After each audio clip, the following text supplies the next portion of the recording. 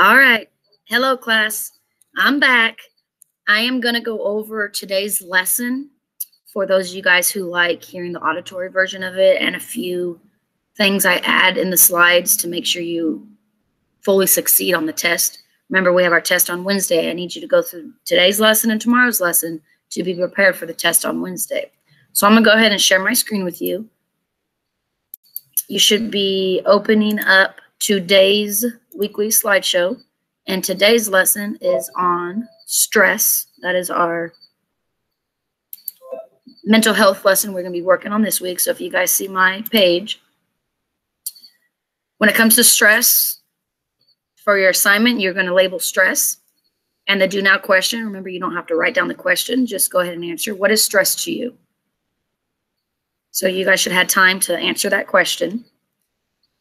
And then, of course, I teased and tricked my in-class students, giving them a little what anxiety feels like. They thought they had to dance in front of class and perform a routine until I told them just kidding. But those those symptoms they were experiencing, those were little tidbits of stress, the flushed face, the rapid heartbeat, the maybe sweating, the dilated pupils. Those are just a few symptoms of what stress and anxiety feels like.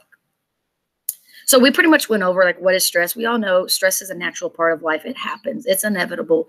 There might be small stresses like I have on the slide. Maybe you're running late to class. So I get another tardy. I, I could get in trouble. Um, if I get another absence, I might have to take the semester test. Um, it could be stress that builds up for days. You know, a big ACT coming up, or maybe it's a big state playoff game. It's things that could be built up for days. And like I have at the bottom, sometimes it can be unavoidable. I'm driving to work, I pop my tire with a nail in the road. I can't avoid that. So sometimes it just happens. Um, we talked about when it comes to stress, a lot of times it's the way you perceive things. I put on there an example of an argument. Maybe I got an argument with a friend and I see it as, oh my gosh, it's going to ruin our friendship. It's going to be horrible. And I'm stressing over it. Whereas my friend probably sees it as not a big deal. We'll work through it. It's the way we perceive things sometimes can determine our outcome levels. If you're sitting in ready to take a test and you're just stressing out about it, well, one, if you're not prepared, that might be a reason why you're stressing. But if you're prepared and you're okay, there's no reason to stress about it. Just breathe and let your knowledge take over. Um, we talked about how having experiences can help with stress. Um, obviously, coaching soccer, if I have the same skill level players in a playoff game, I might put my upperclassmen over my underclassmen just because they have experience. They've been in a situation like that before. So I always say get out there, get involved, get experiences, because that's like a one up. It helps you guys out in pressure situations. We talked about how stress can be positive or negative. Obviously, you don't want to wait last minute on a lot of things, but sometimes it could be a little positive motivation. You get things done. Um, however, Negative stress can hamper your life. We talked about the number one killer of Americans is heart disease, and stress is a huge contributing factor to that. So you might be distracted, overwhelmed. Um, we'll talk about causes headaches. It weakens your immune system, makes your heart work that much harder. So unfortunately, stress can have a negative impact on your physical health. A stressor is anything that that causes stress. So it could be school, it could be a certain class, it could be I sit with students in my class and man they, they're chatty cathys and i can't focus on my work. It could be imagined stress. Like i said i'm imagining my friend never wants to talk to me again and that's not really what's going to happen.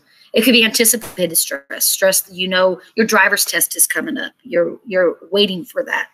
Or it could be unexpected. I get a call in the middle of the night that my grandpa's in the hospital. So stressors can be anything so on this part, I make sure in your guys' notes that you write down some stressors in your life. They could be school stressors. Um, it could be career stressors. Maybe you got a job, stressors at your job. Maybe some family stressors. Maybe my parents are arguing and that stresses me out. I mean, whatever stressors are. And then if you have ways right now how you manage it. So I wanted you to write those down and I look at those. This activity, um, imagine someone sitting under the umbrella and then someone standing next to it. So the umbrella, think of ways and things you guys can do to handle stress. We'll go over more tomorrow, but for example, maybe taking deep breaths, put that on your umbrella. Um, exercise is actually a great way to handle stress. Maybe I just listen to my music and go for a run, put that on my umbrella. Um, maybe school if it stresses you out, but I study. I, I go to study groups. I pay attention. I take notes, put that on my umbrella. So the umbrella is pretty much things you guys can do to help manage your stress. Now you say, why does this person have an umbrella? It's a sunny day. Well, I'm already prepared. I'm prepared for anything that might happen. Well, you think of the stressors you talked about school, uh, maybe a test, maybe a certain subject. Maybe you got to get your grades up. If it's a career, can I get a job? Can I find the right job? Maybe it's something with your family. Unfortunately, we know like grief, maybe it's death, maybe my pet um, has a, a, terminal illness. I mean, it could be anything. And we know stressors can come in all shapes and sizes. So picture these as raindrops. From small stress, like I'm late to school, to a big stress, my grandma's in the hospital. It doesn't look good. So if you think of two people, one under the umbrella, one standing with nothing, well, the one under the umbrella is protecting themselves. They have ways to help manage the stress. Not saying they're not getting stress uh, affecting them, but they have ways to manage it. They might get splashed on, right? But when you think of someone with no umbrella, no preparation, no ways to manage it, they're just getting soaked. You guys know the saying, when it rains, it pours, and they are getting drenched. This person is now unable to handle another thing that comes their way. And unfortunately, this could drive someone down the wrong path. All right, when we talk about stress, it comes in three stages. The alarm stage is like the fight or flight. Um, this is where in your guys' brain, okay, this it gets a little scientific, but in your brain, you have something called your hypothalamus. It literally receives danger signals. So if something's stressing you out, you your hypothalamus, ding, ding, ding, ding, has danger signals. When it releases this hormone, it stimulates another guy in your brain called your pituitary gland, which in turn then it stimulates your adrenal glands. Well, if you look at adrenal, what does that sound like? Adrenaline. Adrenaline is the emergency hormone that prepares you for the stressor that's about to face you. So if it's a, I'm telling you, hey, we're going to dance in front of the class today. Your alarm stage was fight or flight, and it's going to bing, bing, bing, bing. And it's going to send a lot of adrenaline. It's like your body's rushing with it. Um, I always talk about like true stories. You read articles or hear on the news, like a lady gets in a car accident, her baby's in the back seat, car flips over, mom lifts the car up and gets baby out. Like, there's no way that happens. Well, when mom's in that alarm stage, she's in a fight or flight mode. She's not just going to flee from her baby being stuck in the car. She's going to fight and try to help that baby out. So there are cases where moms are able to pick up cars and get their baby out of that situation. Now, can she last forever? No. That's why the next stage is resistance. Your body can adapt and hang for a little bit, but eventually it's going to go to fatigue mode where you tire out. A lot of people who don't have that umbrella of things to prevent stress, they automatically could start in fatigue mode. It's just like, what else is going to go my way? And it's just pretty much people just face defeat and they let defeat take over. And unfortunately, that's what I'm talking about. Stress can cause a lot of other illnesses to happen. Um, when you're stressed out, these are some physical symptoms you might see. You'll notice to get you get a lot of headaches, weakened immune system, digestive disorders. You're probably not wanting to eat. Nothing sounds good. High blood pressure. Bruxism is like when you clench your jaw. If you notice you grind your teeth, maybe at nighttime you have a lot of grinding your teeth. Your dentist might tell you you're wearing down on your enamel. Obviously, in, in your mental, it's hard to concentrate. You might become really irritable. You snap at people real quick. It's just you're really stressed out. You don't have anywhere to release your stress. This was just talking about how you guys can avoid your stress, limit it. Well, if you know you have a big test coming up and your friends want to hang out, maybe just say no. Learn how to say no. Like, no, I got a big test. I don't want to be stressed about it. Plan ahead, make a schedule. If you have a lot of things on your plate, and as you guys get older, I don't want to scare you off, but stress doesn't go away. You might build more stress on because you have more responsibilities. Well, it's learning how to manage it. And one easy way I manage is just plan things ahead. Okay, I got this day to do this, this day to do this. If not, if it all waits to the last day, you're going to be stressed out, right? And sometimes just think positively. If you are planning ahead, you're doing what you're supposed to be doing, then just tell yourself, I got this, I can do this. I also gave you guys some tips you could look over for test anxiety. Um, like I told you guys, some stress is unavoidable.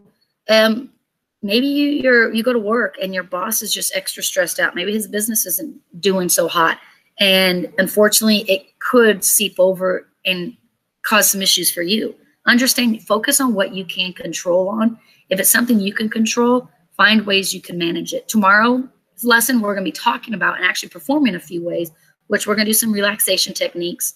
Um, talking about talking with someone sometimes just letting it out maybe writing things down can help release some stress. And of course the best thing is also redirect your energy. Exercise is the best thing. Do something you like to do. You like to paint? Then go spend 15 minutes and just paint. You want to draw? You want to read? Do something for you if we don't start taking care of us, our mental health gets affected, which in turn, like I said, affects our physical health. And then on this is the last slide. These are four easy things that we've been talking about for the last few weeks. If you do these four things, you're already building that umbrella for stress. So if you're getting enough sleep, you got your umbrella. You're getting enough exercise. If you're eating healthy. And then if you learn how to accept defeat and know you guys are going to fail at things. If you tried your best and maybe you didn't get the job, well, another job will be there. Don't let that hold you back, right? It's learning how to bounce back. Well, if I have my umbrella and I'm not getting enough sleep, there's a hole in it.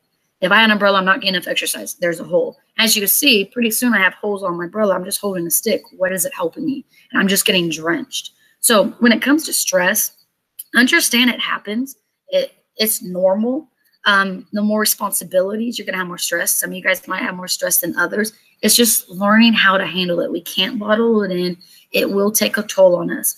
And like I said, eventually it could take a physical toll on the inside, ca causing issues to our organs that we have no idea about.